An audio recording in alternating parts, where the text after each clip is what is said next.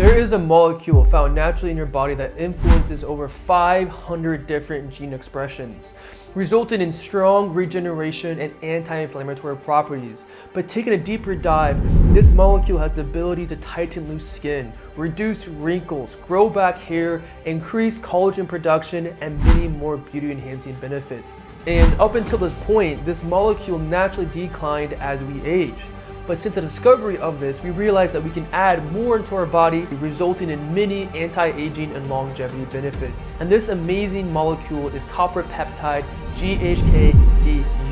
And GHKCU has been getting a ton of attraction from the peptide community because it has so many cosmetic benefits, but we're seeing that it actually has much more than helping with the cosmetics. Let's take a deep dive into GHKCU where I'll share all my research, my thoughts, and opinions on this amazing peptide.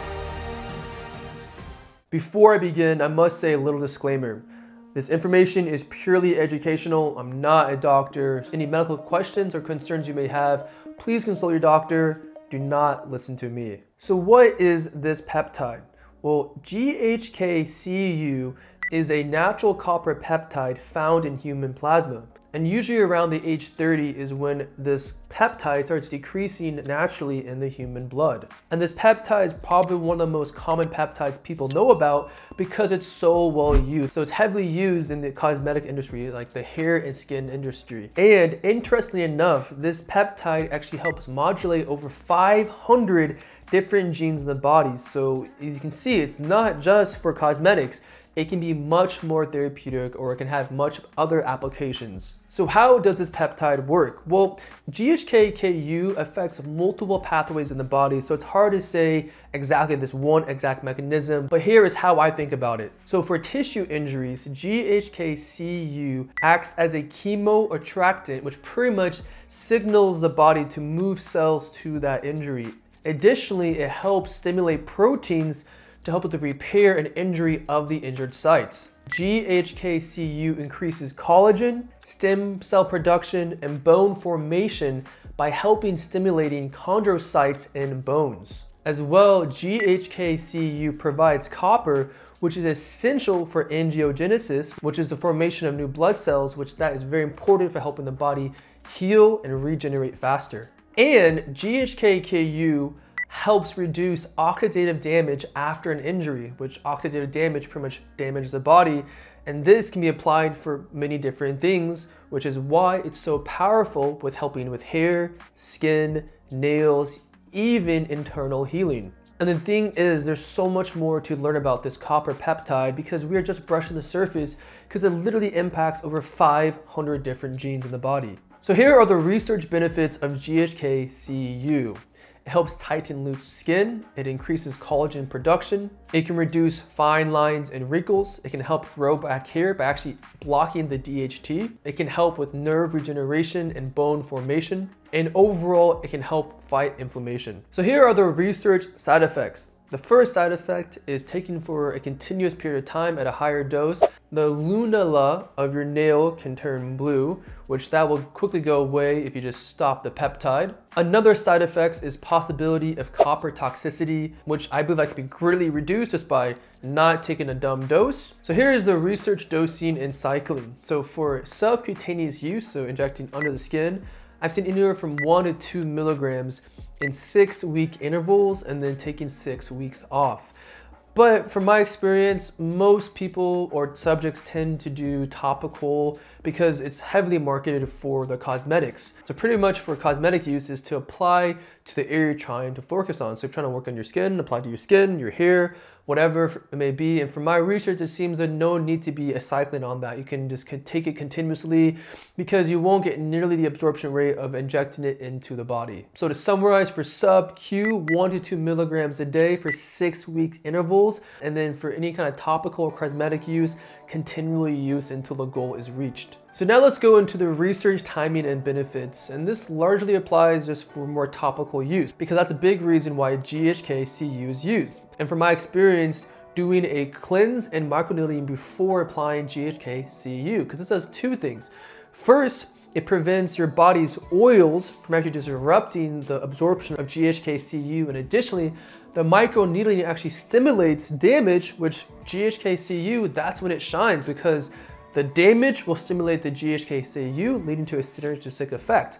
So for skin and for hair, especially here, I've actually done this myself, is doing microneedling and then adding GHKCU. Now here are some supplements I would take this with. The first would be some kind of biotin and vitamin C, in fish oil. I just think of these are great beauty supplements that, again, the large reason why people use this is for beauty. So biotin, vitamin C, and fish oil would be some things I would add to this. Now let's go into the peptides I would take with this. The first would be some kind of GHRH with a GHRP, so a peptide that creates growth hormone and one that releases it, such as like tesamorelin with ipamorelin. And the reason why is that growth hormone is the hormone of vitality, helps with having better skin, better hair, better sleep. So Many people use GHKCU for beauty, and growth hormone is the hormone of vitality. Another peptide would be BPC157 or TB500 or TB4. Those are some really amazing healing peptides, and GHKCU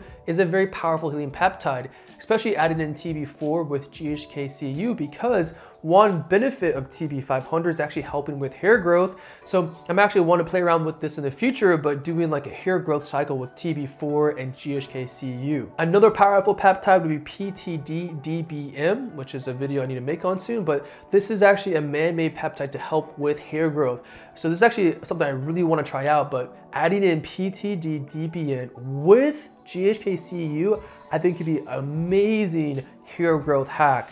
So this is why I add them together. And the last one would be KPV. And KPV is a very powerful healing peptide. But one great thing about this is that KPV is amazing for wound healing and can be applied in many different ways, just like GHKCU. So I would actually mostly use this in cream form with GHKCU with KPV for a cream.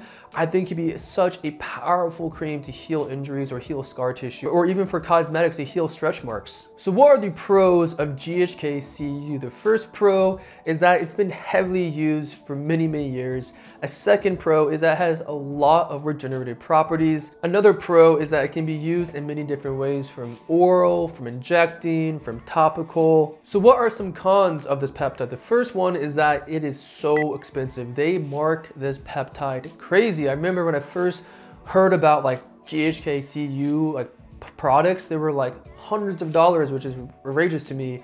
The second con is that it can be hard to see how effective these actually are when it comes to cosmetics because a lot of times these peptides are combined with many other different things in cosmetics. So what is my overall opinion of GHKCU? Well, I've actually used it quite extensively with hair, with on the face, with injecting, and I like it, but I will say for the hair products, I couldn't really tell if I could saw results, but at the same time, it takes at least nine months to a year to like actually test out something, and unfortunately I did not. So Still, I'm not for sure how effective it is, but just thinking of the mechanism of action of how it actually works, I could see it be very promising if I was more patient or really wanted to do it. But overall, I think this peptide is great. I just think it's nice because you can have it in so many different ways.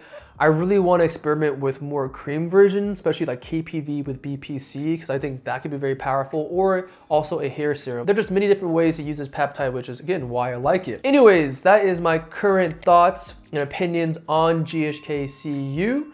Thank you for watching. Please check out my book, Peptides Made Simple. It's an amazing book that covers everything this and much more. So if you like what I do, you want to support my business, please go on Amazon, buy the book. And if you love it that much, please leave a review because this helps me out so much. Anyways, thank you for watching. Please comment down anything you want to learn about or more about. Have an amazing day and stick around for future videos.